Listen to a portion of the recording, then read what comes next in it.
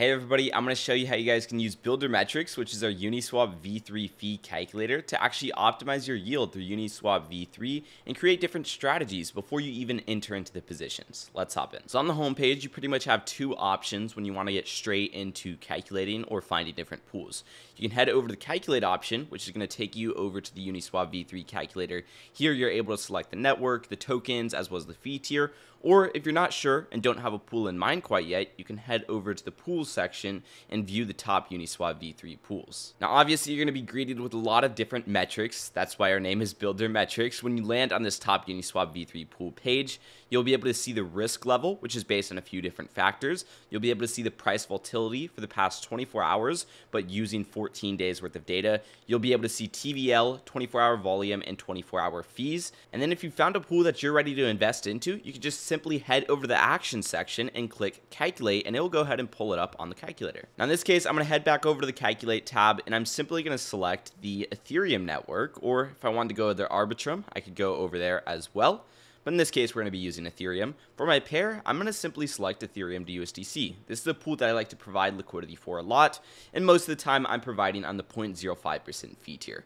We'll hit calculate just like that. It'll go ahead and load up and load all the data. It might take a few seconds, and then once it loads up, you'll be greeted with a variety of different tools to estimate and simulate this pool. And just like that, the page is now loaded up. We have a few options at the top. The first thing we're going to see is the pool, which is Ethereum to USDC.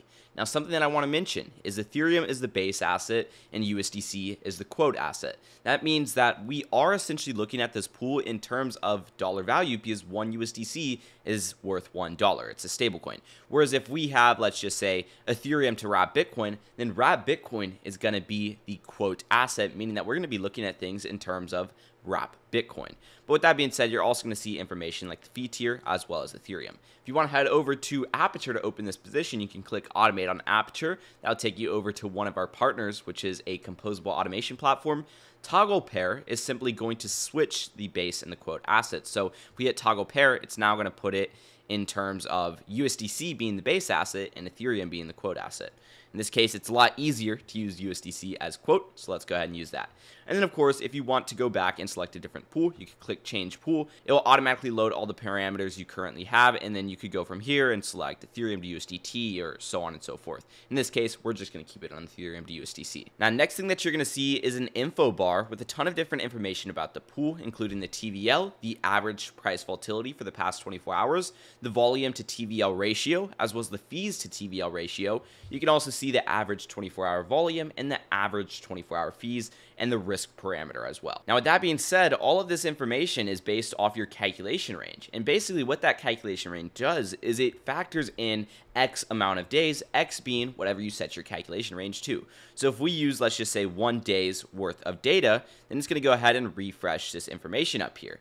In this case, we're only using the past day to calculate all of these different metrics because remember, this is a calculator that uses historical data to predict what your rate or what your APR or what your position will do in the future. So if we use, let's just say 90 days worth of data, we're probably going to get a more accurate estimate because of course it is using a longer time frame and things have gone up and things have gone down in the past 90 days. Now, while we're on this box, I do want to go ahead and go into a little bit more detail on the min price, max price, and current price. The current price is adjustable, so you can set it to anything that you want. So that way you can predict different deposit amounts at specific prices or whatever it may be. I do recommend keeping the current price at what the current price of the pool is. In this case, it's 1640.87. And then min price and max price, this is going to be your range. In this pool, I might use a range of something like 1500 to 1825. And it's showing me over here how much of each asset I'm going to deposit. But let's just say I'm going to be using $10,000 or even $15,000. I can adjust this deposit amount to see how much USDC I need and how much Ethereum I need. It will also show you the ratio. So in this case, it's about 46% USDC and 54% Ethereum. And when we're ready, we can hit create position.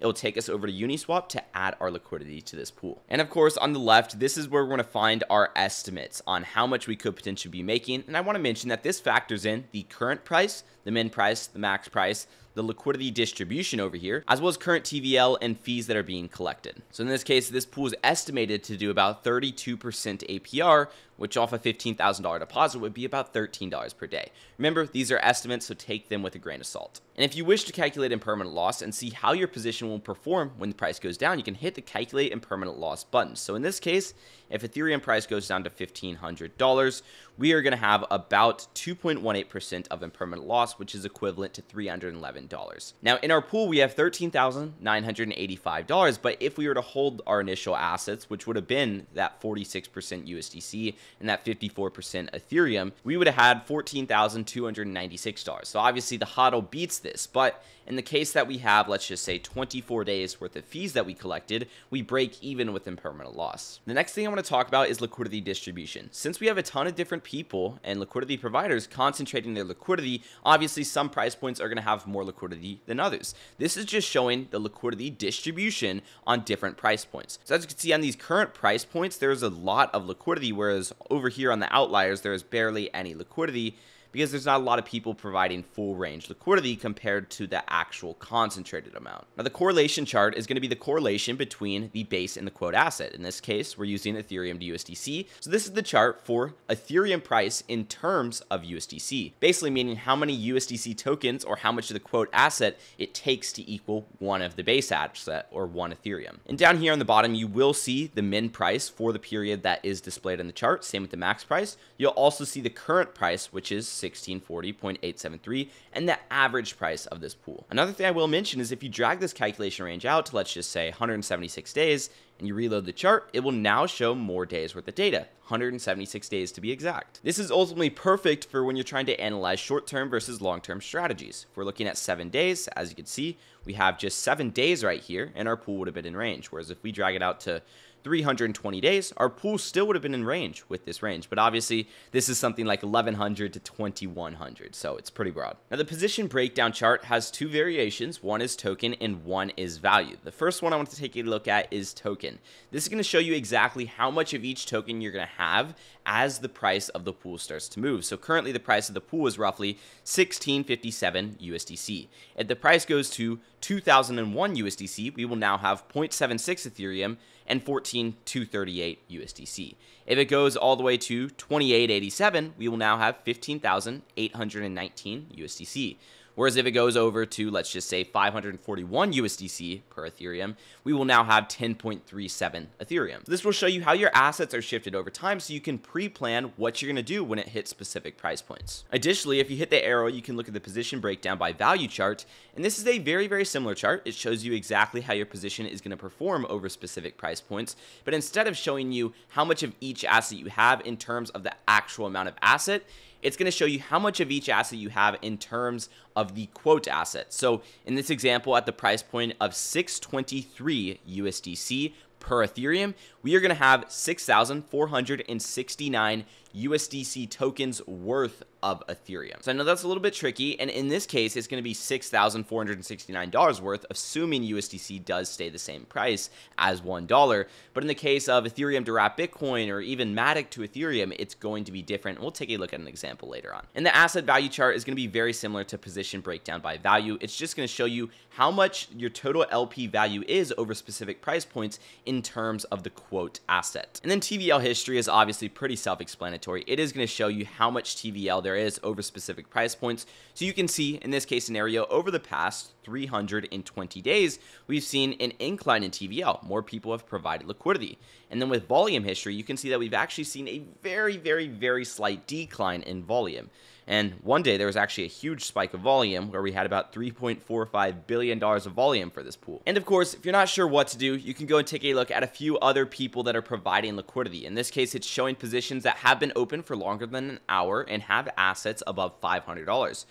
For example, this person's doing a 386% fee APR and if we look at their price range, they have a lower range of 1613 and an upper range of 1657, but this has only been open for four hours. If we want to look further into this position, we can hit apply and it will go ahead and apply that exact range. As you can see, this person is very, very concentrated. And if we really want to, we can look at positions that are doing the best possible yield. In this case, the position that we literally just looked at is the one that's doing the best out of all liquidity positions.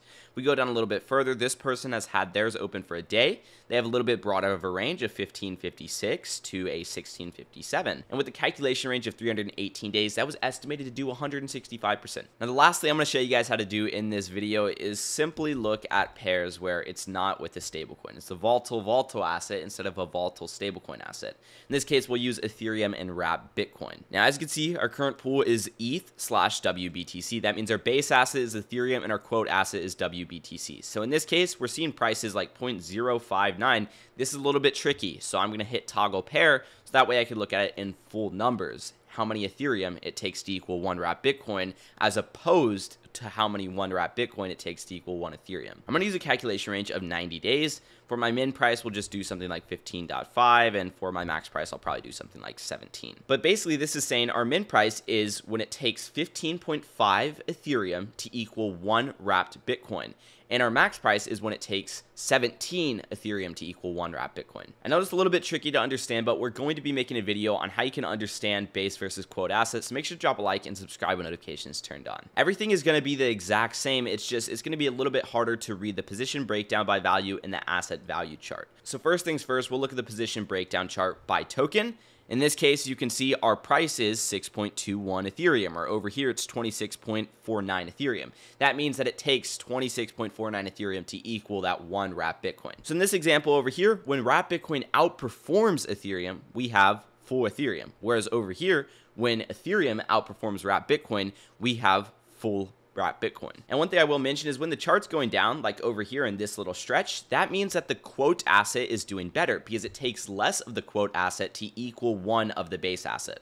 Whereas when the chart is going up, like this little stretch right here, that means that the base asset is doing better than the quote asset. So in this example, Wrap Bitcoin would have been doing better than Ethereum in this stretch. Now, when we look at position breakdown by value, it's going to be very similar. It's just we don't have USDC. So as you can see over here, we have 4.72 Ethereum worth of wrapped Bitcoin at the price of 8.34 Ethereum. And then same thing with asset value. It's going to show us our overall LP value in terms of how many Ethereum we have at specific price points. So this is perfect when you're creating advanced like dollar cost averaging or options like strategies. Remember, you guys can check out BuildrMetrics at buildrmetrics.com. The link will also be down below in the description. Drop a like if this helped you and subscribe for future videos.